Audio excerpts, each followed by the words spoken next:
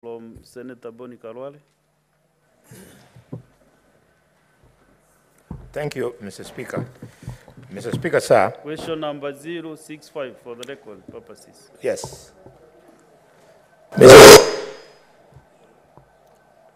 Mr. Speaker, sir, could the Cabinet Secretary confirm that following the presidential directive to upgrade the Kakamega airstrip to an international airport, the leadership of Kakamega County undertook public participation, obtained consent to relocate residents from uh, their earmarked land and conducted survey and valuation of the land for purposes of compensation? And two, what steps the, is the national government taking to execute the presidential directive? Are they two all there? Is, uh, is that all? Okay. Uh, CS?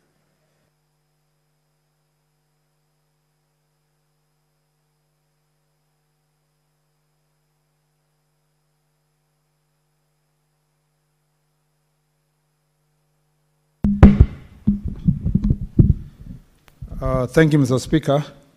Mr. Speaker, I am pleased to appraise this House on the information sought regarding the status of the upgrading of Kakamega Airstrip to an international airport as requested by Senator Boni Khalwale and as communicated uh, in the letter uh, to my office. Uh, Mr. Speaker, the Kenya Airports Authority received an invitation uh, dated 10th August 2023 from County Government of Kakamega requesting for technical assistance in planning and the proposed expansion of the airstrip.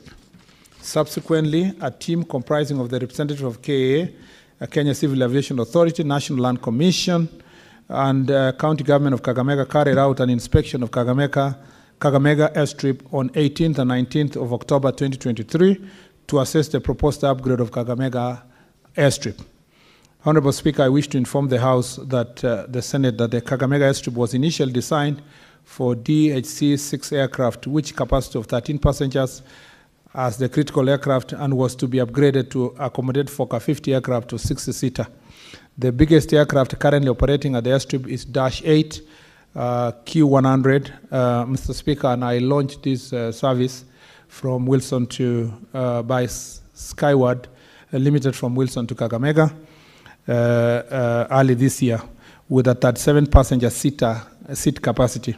Based on the design, uh, aircraft and considering the topographical and environmental constraint, planning studies conducted by the authority indicate that the runway can only be extended up to a maximum of 1,400 meters. Ultimately, in the future, traffic may necessitate bigger aircraft requiring a longer runway. Then the airport relocation will have to be considered.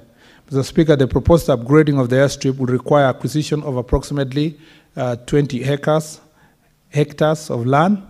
Uh, this is to allow development of critical facilities as well as uh, comply with the International Civil Aviation Organization recommended standards in terms of critical separation and obstacle limitation requirement. During the site visit at Kakamega Airstrip, the county government of Kakamega appraised the team from KA and KCA on the survey and evaluation of the parcels of the land affected by the proposed airstrip expansion.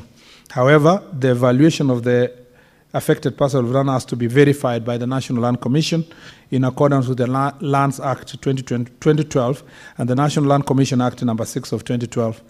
Further, the authority will undertake the environmental and social impact assessment and resettlement action plan for the airport expansion. Let me just say, uh, the, the technical report talks about 20 acres, but I don't think, Mr. Speaker, we need the 20 hectares per se to, to, to extend to the 200 meters. And uh, so I have had a conversation uh, with uh, my team that it is possible to achieve 200 meters fast, even before we're acquiring the full uh, 20 hectares. So I have asked them to go back and check um, what the limited number of acres we need specifically to fast extend to 1,004 to 1,400 meters, uh, so that then it can accommodate slightly bigger planes of about 60 to 70 capacity.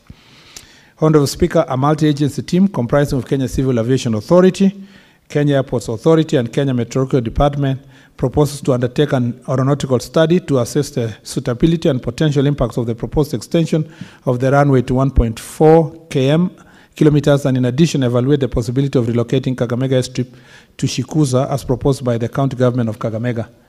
However, again, as I consulted my team, Shikusa, Shikusa is uh, uh, uh, government land under the Ministry of Forestry, Mr. Speaker. And you know, to acquire it will require a big process, including excising that property, uh, that land, that will require parliamentary approval before we can be able to do so. I thank you. Senator Bona has been very, very attentive Yes. and on two eyes. So what is your supplementary question, Senator Boni Khalwale? Mr. Speaker, I'm lost. I'm lost because the minister has come to this house with a casual answer, describing stories of aircrafts, size of aircrafts and things and things, which has nothing to do, Mr. Speaker, with the question that I, I raised. This casual answer, Minister, you know, you and I, we enjoy leadership positions in this government. We can talk to each other here and talk to each other behind the tent and talk to each other in our private offices as we do. The purpose of this question, Minister, is for us now to bring it in the open to the public in Kakamega to know the progress of this project. The seriousness, Minister, is that 611,000 people voted for President William Ruto against 955,000 for Raila Odinga. There was work that was done. And now, when you treat us casually like this, you know that on 8th of December 2022, the president came to Senator Boni, Kakamega. can you be very specific on your question? Mr. Speaker, sir, because he was casual, Know the history of the voting and uh, what happened? yeah, I've left out his Just body. go specific. Your to indulgence. What you really need to be addressed. Mr. Speaker, your indulgence, please. If I don't do this, I'll lose this House, I'll lose the public. Mr. Speaker, on 8th of December 2022, the President came into Kakamega and launched this project, and alongside it, commercial aircrafts, which have been ongoing. He came again, Mr. Speaker, on 18th of June this year, and announced the construction of an apron at 50 million shillings. The minister knows.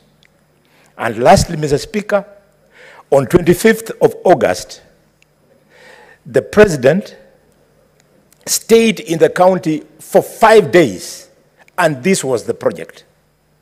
So I was expecting the minister was coming here to tell us only two things. When is the payment of for residents going to commence? Because from that time last year, they stopped doing end development. They know they are moving out. And two, to tell us when is the construction starting?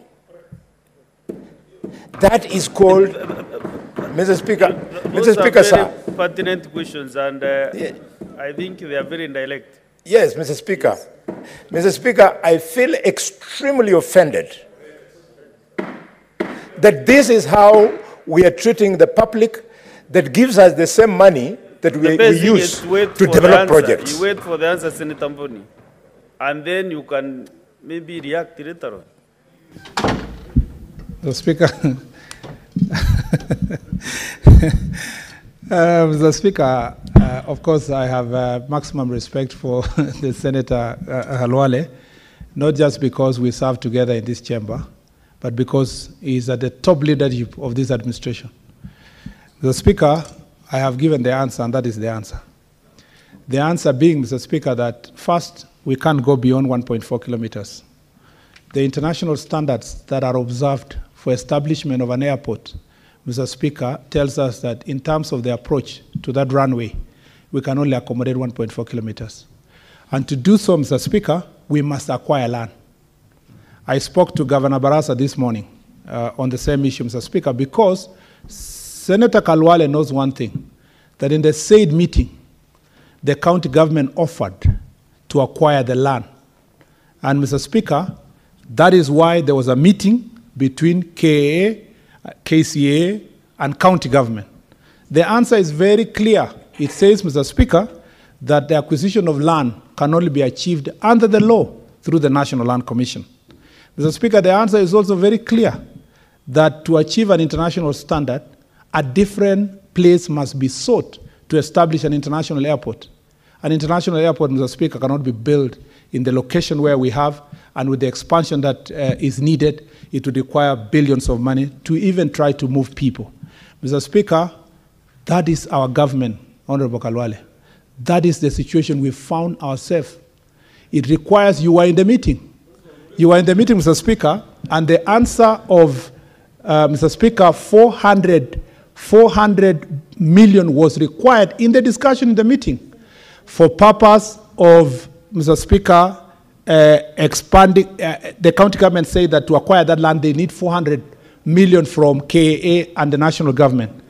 The president made it clear that the support would be needed, uh, Mr. Speaker, for purpose of expanding that land from a partnership with county government. So, Mr. Speaker, the Honorable CS cannot come to the chambers and August House, a very respectable house, and give an answer that is outside the technical advice that comes with the specification of what an airport looks like, Mr. Speaker. But I appreciate the passion that with which Senator Khalwale is prosecuting this matter. It helps my ministry if it was possible that Parliament appropriate some money for purpose of that acquisition if that passion also can be channeled to the National Assembly to look for the resources. But we know the, the, the circumstance under which we are operating, Honorable Khalwale, that we must keep certain level of fiscal discipline because of the challenges we have as a government. I thank you, Mr. Speaker. Uh, thank you. Uh, now we go as per my directive. I want to open the next 30 minutes to the members, senators, to ask supplementary questions, especially on airports. Who has a similar supplementary question so that we tighten up this process? We ask your, your supplementary. Just two minutes, Senator Sifuna. Uh, thank you, Speaker. Uh, just like uh, Senator Khalwale, I believe uh, with great respect that uh, the CS misunderstood the question that I asked and he answered the question, the wrong question. The question I was asking, Honorable Speaker, is if you look at the design of the terminal of JKIA, provision was made for drop-off points of passengers coming in, not the ones on the air side, uh, Honorable CS, not the ones on the air side. You're talking about passenger boarding bridges. No, that's not what I'm asking.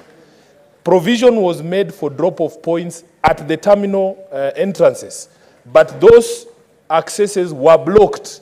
That's what I'm asking. Why is it not possible? What is the rationale? And in this house, we will insist on honesty. I want the CS to be honest to the people of Kakamega. There is no business case for an international airport in Kakamega. That's what you need to say. Say that the president lied. That is what you need to say so that we move forward. Mr. Speaker, I thank you. CS, kindly. Mr. Speaker, I, I thank uh, my learned friend, uh, Senator uh, of Nairobi, for, for, for the clarification. I understood you initially to be the passengers that are arriving. You mean the passengers that are traveling. Mr. Speaker, there was a security uh, protocol that was established, particularly when we entered into agreement with uh, the UK and the US administration to enable us to have direct flights, particularly to the New York. And part of those protocols was to ensure that uh, we keep to dropping uh, passengers at a reasonable distance uh, uh, to, the, to the terminal itself. That is why you see all that area has been blocked. You know, your people are dropped a little bit far away, not very far though, but about, say, uh, is it, if I guess, maybe 50 meters away from the veranda. But also the construction of Terminal 1A after the fire of 2013, 2014, never put into consideration the need to have a good veranda and canopy that can be able to, people can be dropped properly. So there was a design problem that happened, and we acknowledge. In fact, in the reports of KA, the, the discussion is how do you uh, now remodify the existing terminals and put it on a canopy that can come way uh, in front that will allow us then to drop people where, uh, a place where there is shade. So that was a design issue. But there's even a more uh, critical problem. At the main gate, the main gate up there, people have to alight, then they are searched, then the car is searched before you go in. If you uh, uh, three weeks ago in uh, chairing a meeting that is multi-agency at the airport, I instructed the uh, people working on the port charter to, and the KA itself also, to work towards us getting scanners at the entrance that look like all the other parts of the world that will enable us to scan vehicles and scan everybody without really requiring anybody to, to alight. What has happened in other countries also is advanced passenger information is provided for before passengers come, come to the airport. So by the time someone, you know, what other countries have done is that they have a general data of everybody. By the time you're coming to the airport, they know who's in this car. So police only stop a certain car if they have certain suspicion. But in our case, because of the same same uh, desire to maintain our direct flights to New York, people have to alight and search. But going forward, we are thinking of how can you get scanners that can be able to check the vehicles on high speed without people being able to alight. So there are two reasons. The other one is a, is a security related, but also the construction and design of the airport never put into consideration that very important factor. On the Kakamega, the president never lies and never lied. Uh, the, the point is that, uh, and Senator Khalwale was there, it was a partnership between the national and the county government. And there are certain commitments that the county government give. In fact, in, uh, I can say this because uh, I think I was called when the meeting was going on. The, the county government uh, uh, committed that they, it is easy for them to get the land, only for them to realize later that it is very costly. It will need about 400 million, which is not available in our county government. So because of that situation, the discussion that we've been having is to, uh, to find out how can you fast move to 1.4 kilometers, you know, as you think about making the airport reach two kilometers and so forth. It is important to have aerodromes in most parts of the country. To, it eases communication. People going to Kakamega are now landing there. They are home on time. We want to make it a commercially viable airport that can carry at least 60, 70 people. And uh, speaking to your governor this morning, we agreed that we should have a meeting for all the leaders uh, to discuss both the roads and the air, airstrip itself. And Senator Khalwale uh, time permitting, we should do so before the end of this uh, year. And if, if there is any delay, let's do it the first week of, of, of, uh, of January or the second week of January. We agree exactly what can county still be able to do. You know, many people in the county are proposing you go to that land. It's called Issue. It's uh, near the, the, the, the forest, Shikusa. Uh, but again, as I've told you, I've done my homework and found, and I've, I've found that you will need a long process, including parliamentary approval, for you to excise a forest land to move the airport to that place. And my answer is as clear as it is. And you are always uh, welcome to have further discussion on this issue. I thank you, Mr. Speaker. Senator Mboni, I think uh, all those answers are very comprehensive, and you know where to go for more answers. You might attend. So maybe allow me to give other senators maybe to. Yes. Speaker, Mr. Speaker, just to thank the minister for this. But, Minister, the story of Shukosa, the story of acquisition of public land, I have no idea where it is coming from. Because, as you know, in a meeting where the president talked to you, and he was meeting with me, he told you that the governor has found it difficult to raise 400, and could you now talk to him so that the national government will pay half and the county government will pay half? You remember the conversation. So you should be coming here telling the people of Kakamega that the national government is paying the half and the county government the other half, and people will start moving away. But if you are choosing to treat it casually the way you are doing, Minister. Uh, Senator Mboni. Uh, sorry, uh, if, if, I- if- if, if I don't us- ventilate in, gov- in if all of parliament for the people of Kakamega, where will I speak from? From my funeral? I, I know you are talking to Kakamega people now. Yes. But, what I'm uh, requesting you to do, the CS has requested Kakamega leadership to have a meeting. Yes, By Mr. Speaker. That is where you can converse Yes, Mr. Speaker, sir, with the respect to the people who vote for us, allow me to tell the minister that the go round that he wants to give me with the governor, when the people are waiting to be paid, it does not require leaders to meet. We have already been to those people's homes. They have given us their consent. Their properties have been valued. Payment must be made. Minister, have you changed your mind as government on payment of these people, or are you going to pay? If you're going to pay, when are you paying? Life has to go on.